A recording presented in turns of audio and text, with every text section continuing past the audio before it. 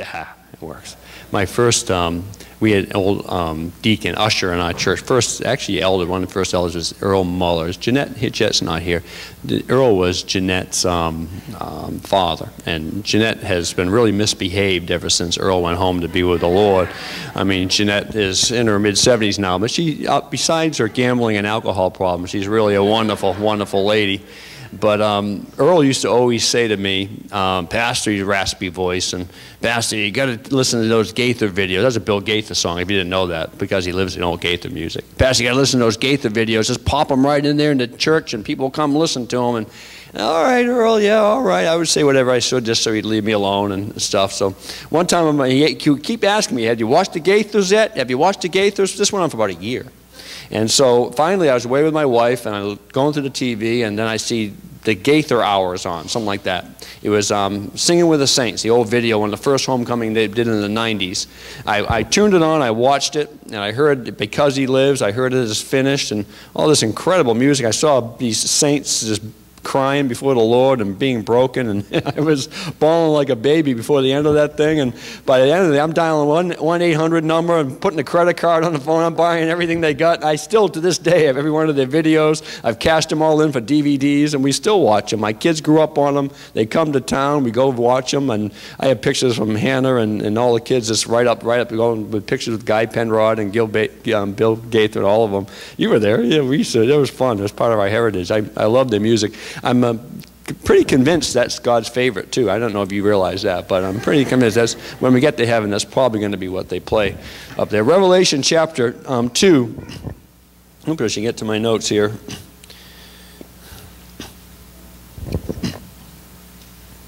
Now, this is the beginning, today is the beginning of the first game of the 2013 World Series. I, I just, I'm not going to say much about that. Um, I'm pretty neutral with these things. And, and, and um, this is my World Series Bible I have right there. And it's just, had never seen that, that's a beautiful Bible. It's a King James Amplified Bible, parallel Bible right there. That was made for me by a Yankee fan. And stuff like no, it wasn't. And so I thought it'd be a fitting Bible for tonight, don't you think? Thank you, thank you. Not, as long as I'm done by 8, I'll be done by 22. Let's close. In closing now, if you Acts chapter 2. Revelation is, is quite a book. Some people, and as you go through the Christian community and different people and writers and preachers, and some people live in it. They, they love this book. Um, I don't know why they like it so much. Maybe it gives them some um, um, literary license to make things up or, or to um, um, imagine some things that may or may not be even true or have just maybe a thread of truth in them. But much of this book is easy to translate, and some of it isn't easy to translate. Some of it is John portraying this revelation, this unveiling. That's what revelation means. And, um, and he's describing what he saw 2,000 years ago when we're not so, sure exactly what he saw, was actually looking at. But we can make educated guesses and we can make some pretty certain things that we know about. Jerome, one of the old church fathers, said Revelation has as many riddles as it does words. Thought that was good. Martin Luther didn't, didn't even want the book of Revelation in the canon of Scripture. He fought against that, and I believe James. He said, Luther's quote, Revelation finds a man insane or it leaves him so. Thought that was good. So the seven churches, the next couple weeks, we're going to get in probably three weeks, I'm guessing, maybe two, we'll get into the seven churches. We're going to cover two of them today. Um, the seven churches of Asia Minor, there are about 12 churches in that area. But these are the ones that the Holy Spirit revealed um, to John. And it's significant because some will, will feel and that the seven churches reflect the seven um, phases of church history, from the early church right to the modern day, with the modern day being the Laodicean church. I probably don't, I can see that to, to a degree, but I probably don't fully embrace that because I think you can go to the New Testament time and see a Laodicean spirit and a persecuted church. You can see the same thing throughout the through every period of church history. There were fervent Christians, there were persecuted Christians, and there were Laodicean Christians throughout history, from the New Testament to the current time. I could be wrong. I was wrong once. Um, It's been a long time now, but it's been 20 years. But I could be wrong, but I don't know. But many, many better men than me feel that, that this, all seven churches rep represent a reflection on periods of church history. Now, what I do see, I think we can be um, confident with in the churches of Revelation, is a snapshot, at the very least, a snapshot of our churches today. We see deceived churches today, like we see in Revelation. We see lazy churches today. I'm talking about local churches, as we saw in Revelation. We see worldly churches today, as we saw in Revelation. And we see persecuted churches today. Just finally saw an article on Fox News this morning where they're saying our Christian is pers Christian persecution increasing. The media has left that alone. But my friends, when you see a hundred Christians, as Dr. C has shared with us, were killed in a church service in Pakistan and made the news for one day, one day. But that stuff's happening literally all over the world. So the first church, because of time, is Ephesus. Let's just start. Where am I here? Verse um, 1. I'm using the English Standard here. I have a couple other translations in front of me here. To the angel. Now, the angel here is most likely the local church pastor. The, the, word, the word angel simply means messenger, and oftentimes contextually it's going to refer to a heavenly angel coming down. But in this particular case, most will tell you this is referring to the local church pastor, the messenger, the preacher of that local church. And this is the, to the preacher of the local church at Ephesus. To the angel of the church of Ephesus, write These words hold of him who holds a seven star in his right hand, who walks seven, amongst the seven golden candle lampstands. I know your works and your toil and your patient endurance, and how you cannot bear with those who are evil, but have tested those who call themselves apostles and are not, and found them to be false. I know that you are enduring patiently and bearing up for my name's sake, and you have not grown weary. So he's building them up at this point. He's saying, look, you guys are doing good. You guys are, and they were known. The Apostle John was one of the first bishops of this church. He was a pastor there and oversaw this church for many, many years. So now he's writing about his former church here in the book of Revelation, and from, from getting the, the revelation from God. He's saying, You guys did really well. When false doctrine would come in, you would, you'd cut it right off. Somebody would come in and distort the gospel, you'd cut it right off. You did good. You kept the gospel pure. And John the apostle was known for two things keeping the gospel pure and preaching the love of God and loving each other. He was known for those two things. So, but I have this against you. Okay, you're doing good, but I have this one thing against you that you have abandoned the love that you had at first. Hmm.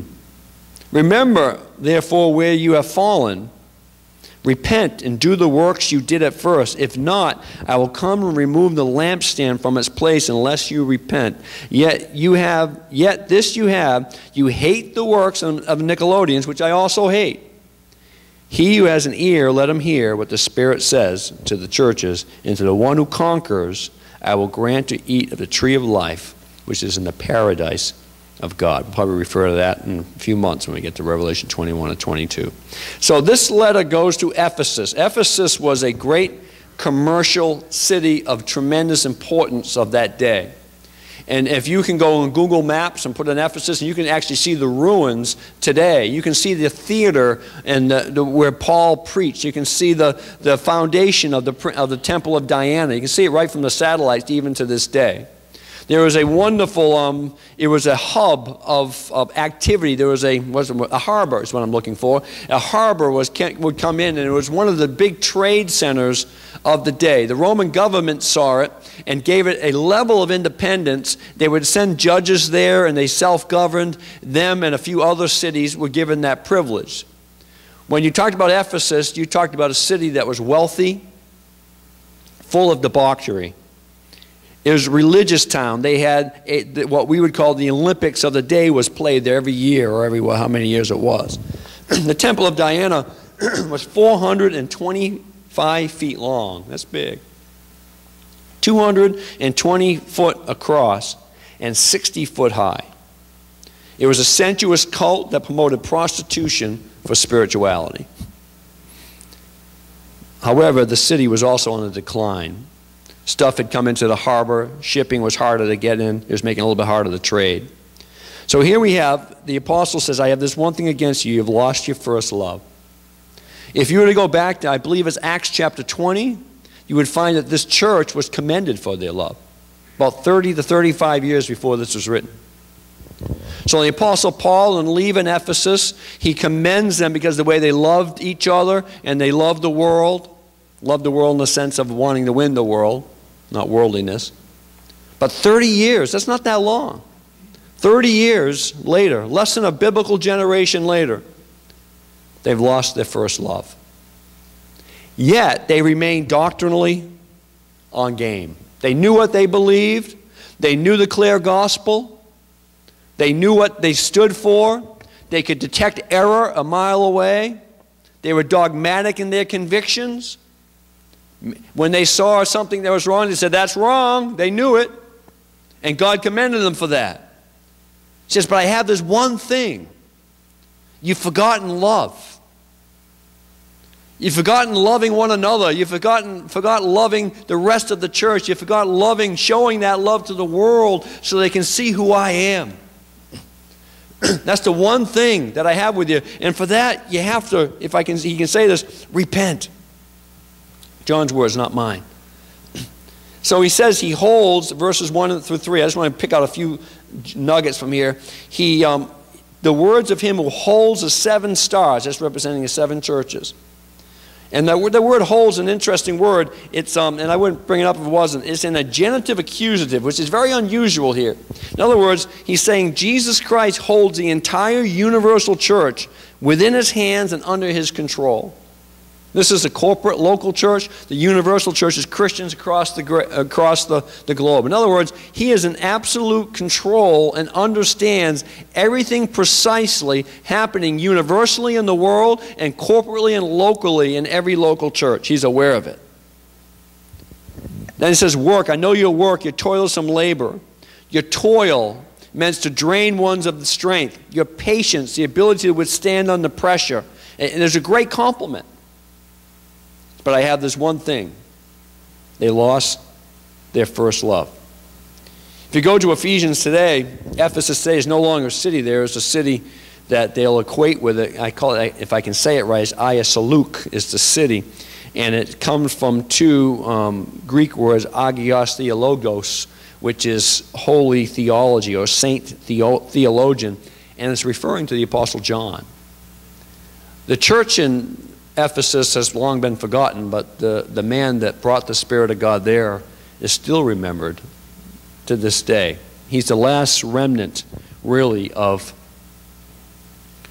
that day when the church in Acts chapter 20 and the subsequent years after, where they loved right and they were a testimony to a world in a very, very, very dark world. Now, how do you lose your first love? That's my main point.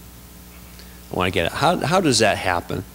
That's probably more messages than just the seven or eight minutes we're going to spend on it here today. But I have a few things here. I have six things. We lose our first love when we replace a kingdom mindset with religious tradition and personal preference. Sort of what happened here in Ephesus. They never saw the real kingdom of God anymore uh, as a scope. They saw their own piece of the kingdom and they protected their own piece of the kingdom. Their desires became bigger than kingdom desires.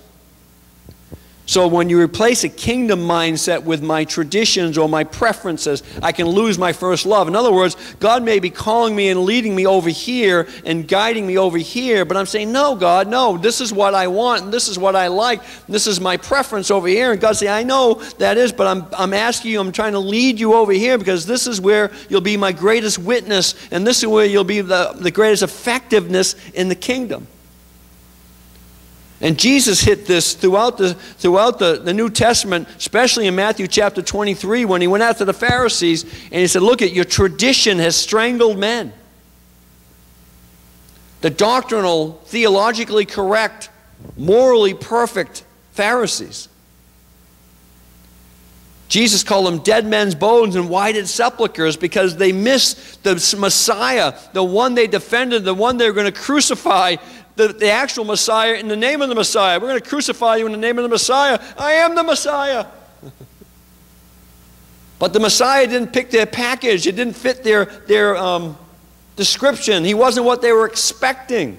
He rattled their cage. He changed the rules. He exposed the hypocrisy of their hearts.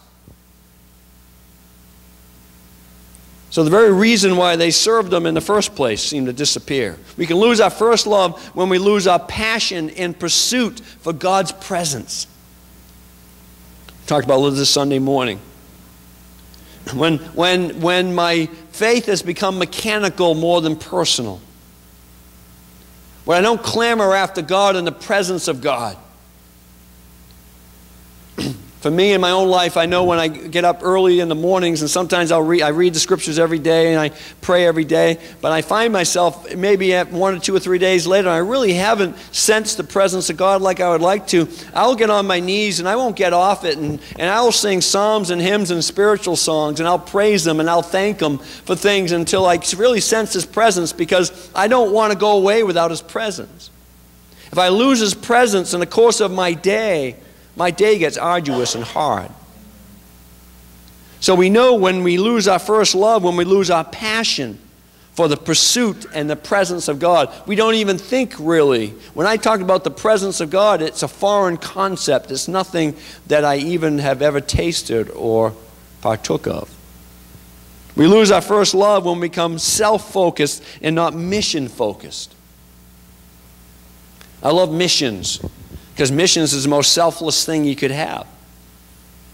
It takes the focus off us and sees the whole world. One of the great privileges I've had, and there's people here, Brian, Pastor Brian, Pastor Lewis, so many have traveled around the world. to Danny Parted, in South Africa, all over the place. In fact, I tried to detain him there. He broke out. and um, that's that. I made that up.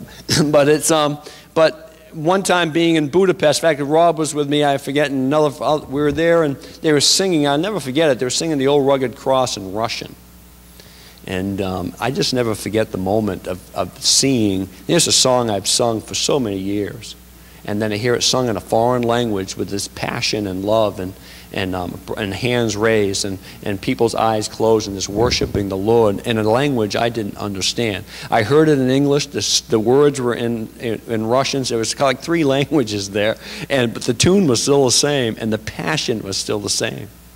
See, I don't ever want to lose my, um, my, my mission focus. If I lose my mission focus, I begin understanding that my this gospel goes much further than my circle right here. I begin to lose my first love. I can lose my first love number 4 when I become overwhelmed with a wound or a loss. When something tragic happens in your life or unfulfilled dreams or a pursuit that doesn't come to pass like I hoped it would um, it's easy to lose your first love. Maybe it's a business that you're building and it gets so overwhelming and so busy that it takes your time up and takes your attention, and, and you see everything as a business opportunity and not a ministry opportunity. We could be losing our first love. When we lose our first love is when you begin to subtly begin to make the holy into something common gathering here tonight is holy. Inside you is the, the Spirit of the living God in every Christian. And the gathering of the saints is a sacred moment. And Malachi 3, verse 16 says, Every time we gather together and every time we speak to one another, it's recorded in heaven. We may not think it's that sacred. It may just be another Wednesday night or a Sunday morning or whatever it is that we're doing, but God sees it as sacred. When the hymns are played and the music is wor- and people are worshiping, when we give as part of our worship, it's sacred.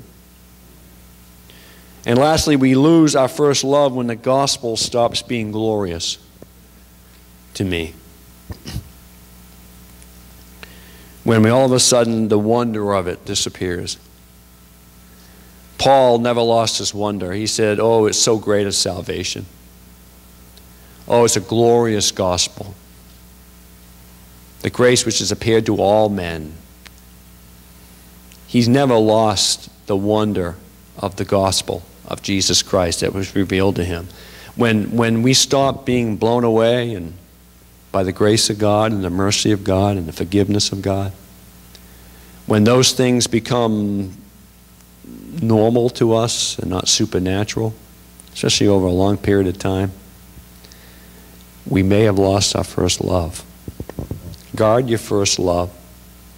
When you see the temperature of your love for God and the temperature of your love for His people get cooler, there might be an issue in your heart.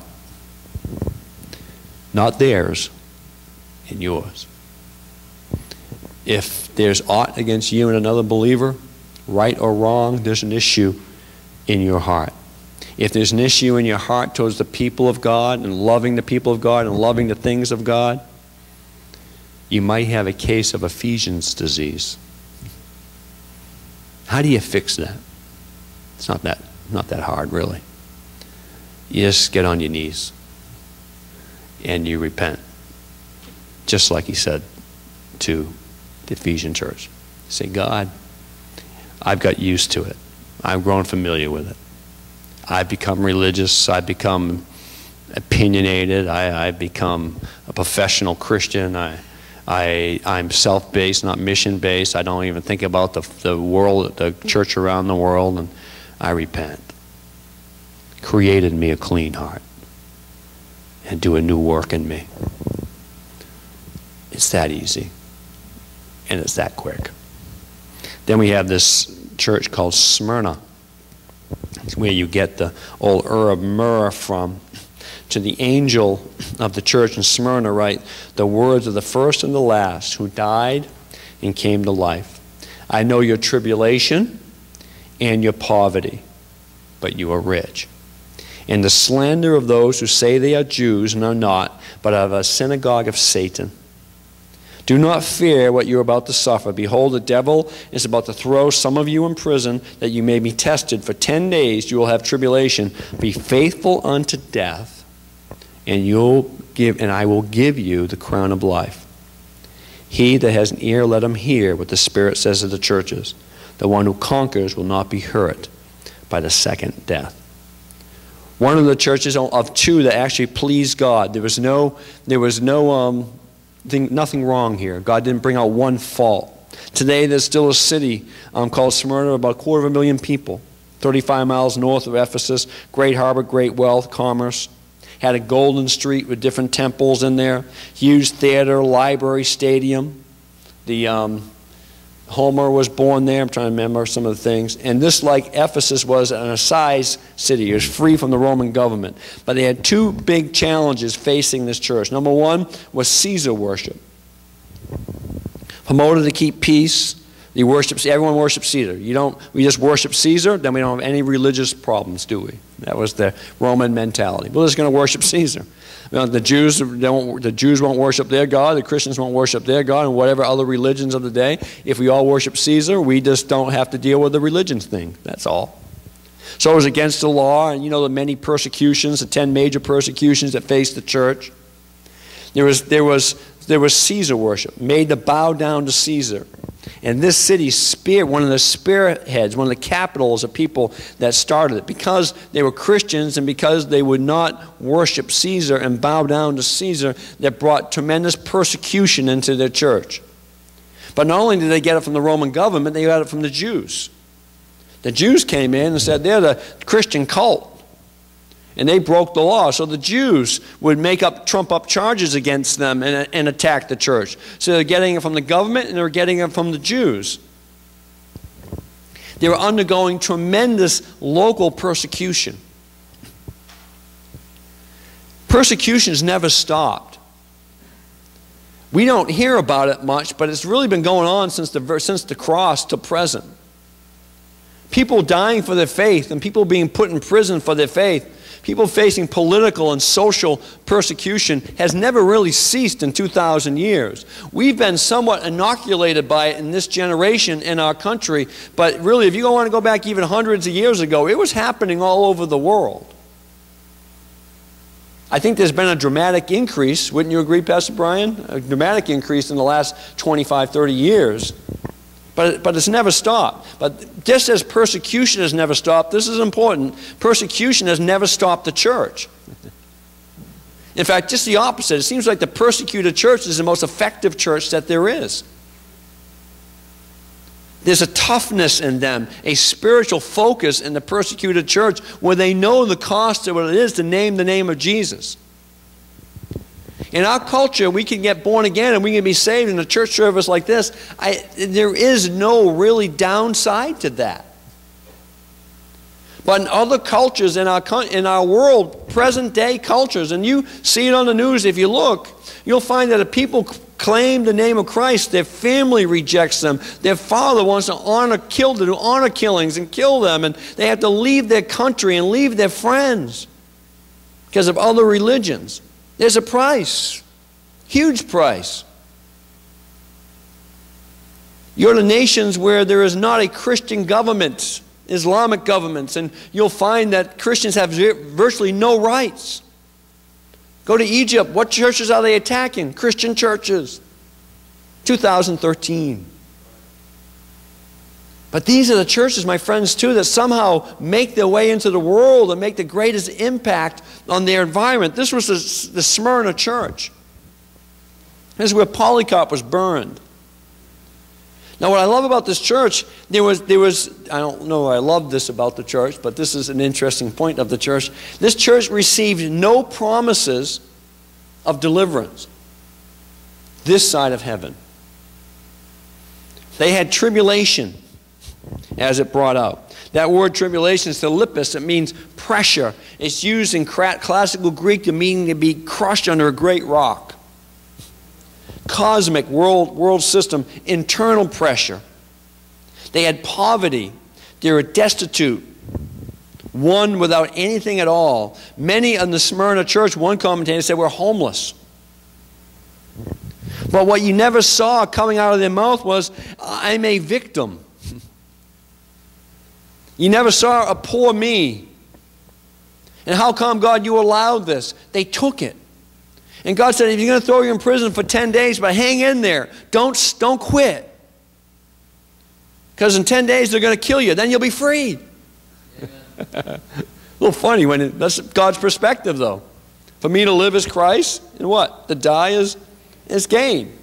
The church was not given any temporal good news. All the comfort was promised to them on an eternal level. They were promised a crown of life. I don't know exactly how that manifests. Is going to be a literal crown? Let's say that it will be. But we know the crown of life is a, is a word zoe life, and there's different words in the Greek New Testament. There's bios life, which is physical life, biology life, and zoe life is the life of Christ. It's a spiritual life, a higher quality of life. So I'm going to give you a crown of life, but not the life of, of planet Earth, but a life that was born and nurtured in heaven. That's the life you're going to give. I'm going to give you a life way above the persecution of planet Earth, way above the pain and the discouragement and the questions and the wondering whys. I'm going to give you a love way above that, a life way above that. I'm going to close in just a few moments, but I want to, I want to give you just some verses that, and these verses really helped me and really ministered to me in my own personal life. My sacrifices, your sacrifices, for the sake of the kingdom of God, will never be forgotten. If you've given something up for the kingdom of God, if you've went out for the kingdom of God, those sacrifices will never be forgotten. There's never been a Christian that served God with all their life who got to heaven and kicked some cans and said, Wow, wow, I wish I didn't spend so much time serving God. That's never happened. There's been no Christian who spent their life and their sweat and their blood serving the King of Kings and the Lord of Lords that ever regretted the hours put in. In life, we may kick ourselves sometimes, but like we said earlier, everything in heaven is never forgotten. The secret anguish is never forgotten. The banging on heaven's door with no seeming answer is never forgotten. The questions of spiritual confusion that you pound heaven's doors with are, are never forgotten. The times when you picked yourself up and you went on when you had no strength, those times are never forgotten. the times when you loved, when you didn't feel loved, the times when you believed, when you had no faith, the times when you, you said positive things, when you had nothing but a negative heart. Those things are never forgotten. God remembers them. Man may never see them. Hopefully, they never will. But God sees it all and God remembers it all. And there'll be a day, this side of heaven, when we finally die, or the rapture of the church comes. The second, hopefully that's going to happen soon, right after the Red Sox win the World Series Sunday night. Then where we can go. And it's going to be a day, right after that day, then that we that we're going to know it was worth it. God, you were aware of that pain. You aware of that wrestling I had on the inside? God, if you just had answered me, it would have got much easier. No, Tim, I just wanted you to walk. I just wanted you to believe. I promise you something greater would happen. Let me read you some verses here. I'm going to go through these quick, and I hope they fill up your brain. I hope you just blow up when this is done because these are just great verses. Boom, just blow up. It's going to be Christian guts everywhere, all over the place because, because, because, because we're just excited over what God this is. Look, remember this, 1 Timothy chapter 5, 24 and 25. Remember the sins of some people are obvious. That would be Jeanette or other people like, I'm only a kid. She's not here to defend herself, so I'm just picking on her. Leading them to certain judgment. Watch this. But there are others whose sins will not be revealed till later. In the same way, the good deeds of some people are obvious, and the, other, and the good deeds of uh, the good deeds done in secret will someday come to light. Wow. 2 Timothy 2, verse 12. If we endure hardship, we will reign with him. If we deny him, he, he'll deny us. But that's what he says. If you endure hardship, arduous toil in life, you will reign with him. You're going to reign with him. Well, how do I guarantee reigning with him? If I just endure my hardship. What's that quality in our English? Non quitability. I made that word up. But that's what it means. I hang in there, I don't quit. I don't throw in the towel. Even when I get discouraged, even when I, I want to see responses but I don't get them, I don't throw in the towel. For Hebrews 3, verse 14, if we are faithful to the end, trusting God as firmly as when we first believed, we shall share in all that belongs to Christ. Is he about to blow up? Because I'm liking this stuff. Hebrews 6, verse 10, for God is not unjust he will not forget how hard you have worked for Him and how you have shown your love by Him by caring for other believers as you still do. I won't forget it, he says. Luke 18 29. Yes, Jesus replied, and I assure you that everyone who has given up house or wife or brothers or parents or children for the sake of the kingdom of God will be repaid many times over in this life and will have eternal life in the world to come. Matthew 9, 19, verse 29. And anyone, everyone who has given up houses or brothers or sisters or father or mother or children or property for my sake, I love this. Listen, will receive a hundred times as much in return and will inherit eternal life. So whatever I give up for the sake of the kingdom of God, Jesus, Jesus, Red Letter Edition says you're going to get at least a hundred times. Any sacrifice you made for the sake of the kingdom, you'll get a hundred times for all eternity. It won't be temporary, it'll be eternal. A hundred times greater than any sacrifice. Anytime you said no to yourself, anytime you took the lower road, or the higher road, I should say, Anytime you've forgiven when you've been, when you've been a legitimate victim. Anytime you sacrifice of your own resources for the sake of the kingdom of God, he says you'll receive a hundred times when you've been persecuted by other Christians or persecuted by the world, you'll receive a hundred times when we get to eternity. That sounds too good to be truth because we've never really seen eternity yet. Boy, won't we be shocked when we get there? We have to believe it by faith. So, the message for this church is simple just don't quit. You hang in there. All these things will wear you out, but don't quit. These things are designed to make you quit, but don't quit. Because if you quit, it might not be a crown of life. Do not cast away, Hebrews 10 35 and 36, this confident trust that you have in me, knowing the great reward that it will bring you. Patience, endurance is what you need now, so you'll continue to do my will. Then you'll receive all that I promise. Talking to a persecuted church in the book of Hebrews. We can't allow life, my friends, to take us out of the race. We can't allow heartache and pain and grief and loss to cripple us so badly we can't run anymore. This church was poor, had great pressure, they were lied about, but found faithful. And because they were found faithful, they were eternally rewarded. And let me ask you this, and we really are going to close. You think that God's eternal rewards might exceed anything we hope to maintain?